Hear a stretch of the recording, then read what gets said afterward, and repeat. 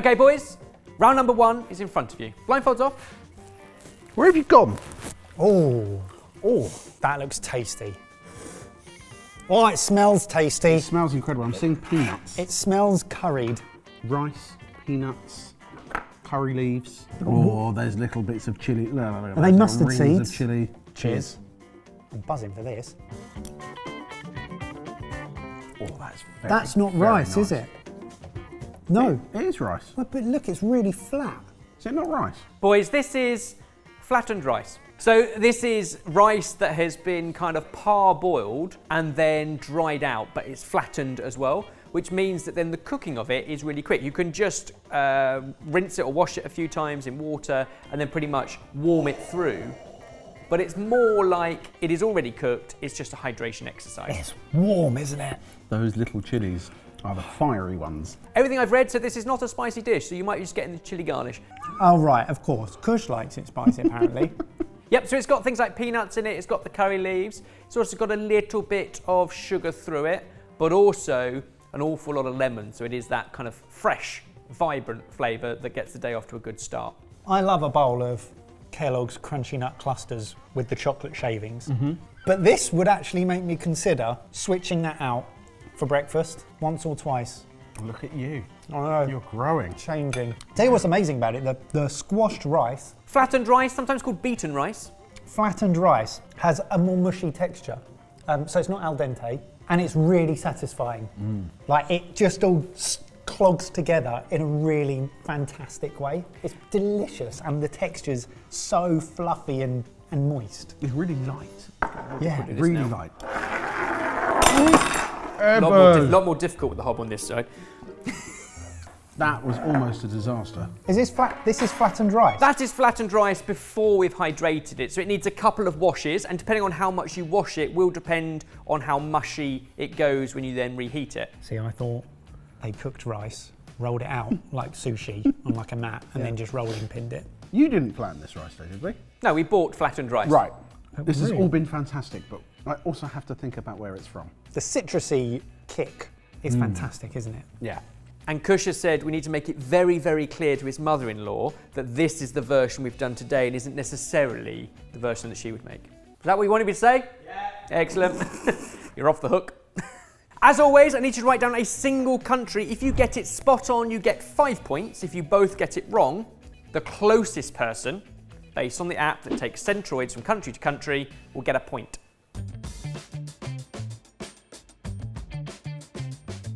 Turn your boards around in three, two, one. Pakistan and India. India. In the Gujarat region. Why are you being so specific? Okay, what, what makes the pair of you think those answers? Flavour profile for sure. Yeah. I was thinking maybe Kenya.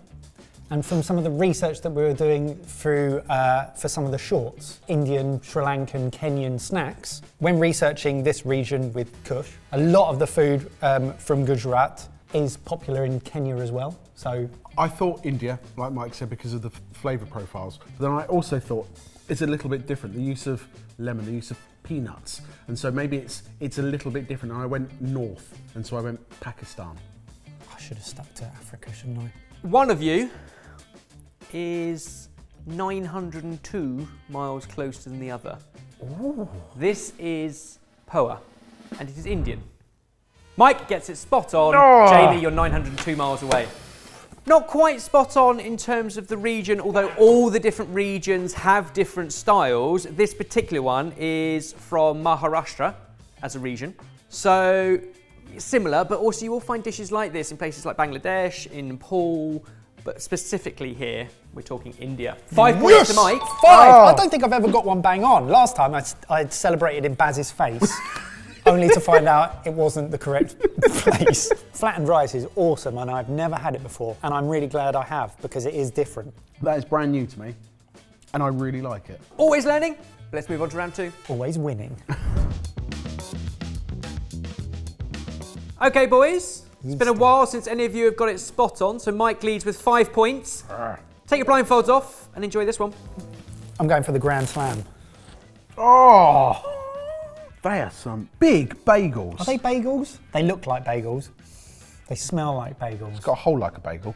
Cut into one, have a little taste. Now, Oh, there's something in the pot. as with so Honey. many things, they can be eaten with a number of different toppings, but typically at breakfast, one common topping is butter and honey. Mmm. That's delicious. Oh, Oh, there is such a good amount of sesame seeds on that. So these are made from wheat flour and otherwise very typical bread ingredients water, yeast, a little bit of sugar, and some oil, and then coated in the sesame seeds before baked. But what you get is a lovely crisp outside and a soft middle. Sold in bakeries, shops, street vendors, I'm gonna have more. especially earlier in the day when they are fresh. They don't keep particularly well, so it is best to buy them when they're freshly baked, which is at the start of the day. By the evening, they're quite stale. These are fabulous. They are great. So it's a yeasted dough that's then rolled out, formed into a ring, pinched back together, and allowed to prove before baking. These ones are homemade. Kush made them this morning. Great job. Got from my stale, though. perspective, I don't know what they're supposed to be. I don't know where they're supposed to be from, but they taste nice. Comment below if you think you got it wrong. Other toppings could include cheese, cured meats, olives, a version of a chocolate spread, even. Where in the world do you think these are a popular breakfast item? Let's see what you scribbled. Three, two, one. Israel. And the Czech Republic. Czech Czech Republic. Republic. Neither of you quite right. Also quite far away from each Very other. Very far away from each other. But what I had to check was how far you both were away. One of you is 116 miles closer than the other. That's you. I reckon. Literally the distance between here and Birmingham. That's how far you're off. I went your region, and then I, I'm sure I ate something very similar on a trip to Israel. Yeah, so I thought Israel, Jerusalem, uh, but then I thought bagels. And these aren't bagels. These are called koulouria, which stems from the Greek word koulouri, but is also very popular in Turkey and where it is called simit. However, this particular version found all over the streets, originating in Thessaloniki, is Greece. Absolutely delicious, sweet or savoury. I didn't want to give it away, often eaten with feta and olives. Yeah, Yeah, that that would give it have done or Yeah. butter and honey, but Greek honey, we know how good Greek honey is. The closest person was Jamie, just 805 miles away. Mike, you were 921. There was not a lot in it. Not a lot in that at all. And that doesn't help me in the overall standing of this game. Oh, because I got a hundy P. Jay, you take a point. It's 5 1, and we'll move on to round three. If you're enjoying this, there are some small things you can do that make a big difference to us. Like the video, subscribe if you aren't, click the notification bell and select all. Thanks. You got one round correct each so far, but Mike, you're definitely ahead. Take your blindfolds off, see what we got next. so it's red, and it's unsquashed rice, kidney beans. Red kidney beans, white kidney beans. Okay, let's try. Cheers. Cheers. That's delicious. Oh, like know- a tomatoey base. I'm getting mm. Carolina red rice vibes. Carolina red mm. rice, slightly jambalaya. So you've pretty much spotted everything that's in it. Rice and beans. In this case, you've got kidney beans and black-eyed peas. It could be either of those, a combination of other beans, but basically rice and beans. The rice is cooked in a bit of stock, and traditionally it has its colour coming from the stalks of sorghum or millet. Sorghum and millet being the same thing, and that gives it a reddish brown, burgundian almost colour. What I love about these kind of dishes is they're very simple, but absolutely delicious and comforting, and most importantly, nutritionally complete. The proteins you get in rice is good, but it's missing a few, and the proteins you get in beans is good, but it's missing a few. But together, they give you that complete mm. nutrition. It's why rice and beans has become such a classic dish, or rice and peas. That is so delicious. And it's great. I love stuff that tastes like it just tastes like red rice. yeah. But it's so good. There's You a could eat that really- forever. There's a really gentle spice throughout it Yeah. as well, which is really just warming. Do you want me to give you another clue? Oh yes, please. The dish is spelt W A A K Y E, pronounced, to my understanding, wachi. And that word comes from the Nigerian that means beans. That's really annoying that you've said that, but also slightly helpful. Is it a double bluff? I don't know whether I'm being bluffed, double bluffed, or triple bluffed anymore. All you know is you're getting a bluffing. I'm getting a good bluffing. Scribble down an answer. I just need one country. We've served ours in a bowl, but sometimes on the streets it would be served in banana leaf. It might also be topped with boiled egg or similar. This is a stupid guess already. I'm- I'm regretting it. Yeah, I don't Done. know anymore. Give us a flip. Three, two, one. Sri Lanka, Trinidad and Tobago. They're quite different. They are very different. What is your logic? Earlier, I talked about the Kenyan and Indian crossover in culture, and I also know that there's an African and Sri Lankan community in Sri Lanka as well, and I wondered whether they perhaps brought that over from Nigeria to that sort of area of the world, and that's where I stopped. I went down the line of thinking we knew that the enslaved people moved from West Africa, Nigeria, over to parts of uh, the US and then sort of the Caribbean islands and, and places like that. And so I just picked one of what could have been a few different options. Picked one that's really fun to say, Yeah, and because you're a dad. yeah. What, what do you mean? Trinidad. Yes. Yes. Okay, I'm going to be honest. Neither of you are correct, and both of you are about as far away as we've ever oh, been. No! But who's furthest? One of you is five and a half thousand miles away, Oh, no! Don't you start getting closer after that? and one of you is just over 4,000 miles away. Wow. We. we we Where is that then? Waakye comes from the Nigerian meaning beans, and it is definitely a West African classic dish. And from that, it has travelled across the world. I remember having something very similar in places like Costa Rica, similar sort of influences. But this dish, Waakye, comes from Ghana, just two countries west of Nigeria. You're so annoying, Ebbers. I thought by giving you Nigeria, you, it would rule out one of the West African countries, and then you'd have another dozen to play with. Thanks. Yeah, no, that that backfired. It did.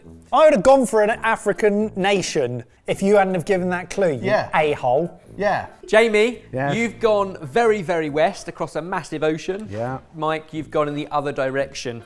Jamie, you are closer by 1,485 miles and take another point and another win. Oh no, you're in the lead. No, I'm not. Oh no, you only get one point. I know. That is How lame. annoying is this? I hate this game. Oh, this is I like and this bit. I don't like this bit. Let's do the final round. The great thing about this game is it's all still to play for. Five points up for grabs, could take the win. Blindfolds off. Oh, one each. Talk us through what you've got. Prawns, bean sprouts, lime. I think this is tongue. Oh, look, Look, it's tongue. Well, I think that, li- or oh, it's, it's something like liver. It looks very, it, it looks, awfully, doesn't it? meaty. Yeah. Yeah, You're correct on the idea that it is both meaty and offally. That's pig's liver. pig's liver. Pig's liver. Quail's egg, bean sprouts, spring onions, holy basil, some coriander, some prawns, all in a lovely broth. Oh, and some rice, noodles. Yeah, lovely. I love rice noodles. Get involved. Tell us what you think. Oh, it's really citrusy. Fresh and fragrant. Some spice. Subtle spice, I'd say. It's I think the word subtle's there. So yes, subtle and fragrant, much more than spicy. It's a pork bone broth. Mm. that's delicious. And really, there are two key elements to this, and that is the quality of the broth and then the oh, generosity when it comes to all the garnishes. In this instance, we've given it to you wet, and by that we mean all the garnish in the bowl, and that is more typical from perhaps the capital city, where it's more popularised. But other places, it can be served dry, which mo- looks more like a noodle salad. I just flipped myself in the eye with a rice noodle. That wouldn't have happened if this was dry. That's true. When does that end? Okay. and it looks more like a noodle salad with a bowl of broth, and then you add in the bits to your own personal preference. Is this all pig's liver? No, there's some pork belly in there as well. Pork belly, right. What are you thinking? Are you beginning to narrow down an area, a region, a country even? I've got a continent. Excellent. Well done. That's all I'm prepared to say at the moment. I'm getting f vibes. Hmm. But I don't want to say that out loud. Hmm. You just did. I know. Hmm. Seem to be enjoying it too much, but time to put down the chopsticks and pick up the pen. Oh, Scribble down a country. it's going to be harder to eat with a pen. Turn round your answers in three, two, one. Taiwan and the Philippines. It is neither of those places. Excellent. What a great day this has been. However, Yes. one of you is 165 miles closer than the other, so it's pretty close. oh, again. The answer is Cambodia, I'll take that. Especially in the city of Phnom Penh, where this kind of wet method is classic. Cambodia. Cambodia. The dish is spelt like this, and I think pronounced katio. Katio. Katio. It's absolutely delicious. That's fantastic. Yeah. And one of the flavours, which is quite common, is something like Kampot pepper. And that will give you that peppery but also citrusy note. But I figured, given we did that in a Pick the Premium not too long ago, that might have been a clue too far. It's about four years. Kampot pepper, I've just remembered, was amazing. Having done the maths, you're both pretty far away at over a thousand miles, but Mike, you are fractionally closer. That means you have both won two rounds each today.